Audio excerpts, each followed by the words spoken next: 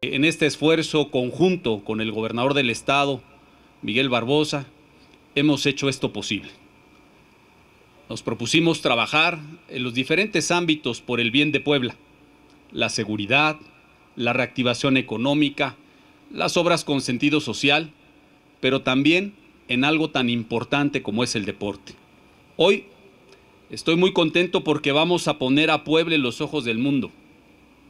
En México sabemos que el fútbol es un deporte y una tradición que moviliza emociones y transmite sentimientos. Es una disciplina que mejora nuestra salud física y mental y que también nos ayuda a mejorar nuestro entorno.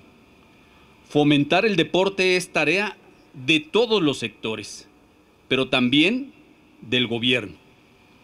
Por eso hoy estamos cumpliendo este compromiso de firmar este convenio para que en Puebla sea la sede del Mundial de Fútbol 7 en el 2023. Gobierno de Puebla, hacer historia, hacer futuro.